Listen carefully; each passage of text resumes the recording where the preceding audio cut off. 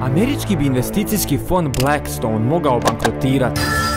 Blackstone je jedan od najvećih investitora u nekretnine. Njegovi krakovi rasprostranjeni su svuda po svijetu jer imaju čak 500 milijardi dolara investiranih u nekretnine. Međutim, kako su u zadnje vrijeme kamatne stope išle gore, tako je njihov portfolio doživljavao pad. Zbog loše likvidnosti Blackstone nije uspio platiti ratu na dug koji je iznosio 550 milijuna dolara. A evo kako su došli do toga. Blackstone je 2018. kupio brojne nekretnine u Finskoj. U to se vrijeme to činilo kao odličan posao jer je euro europsko tržište nekretnina bilo u usponu zbog niskih kamatnih stopa i zbog mogućnosti za refinanciranje. No ubrzo se ta situacija promijenila kada su svjetske centralne banke krenule u politiku dizanja kamatnih stopa, što je dovelo do pada nekretnina u nekim dijelovima svijeta i time do pada vrijednosti kolaterala koji Blackstone drži. Želite li se educirati i čuti još ovakvih ekonomskih priča? Popratite nas.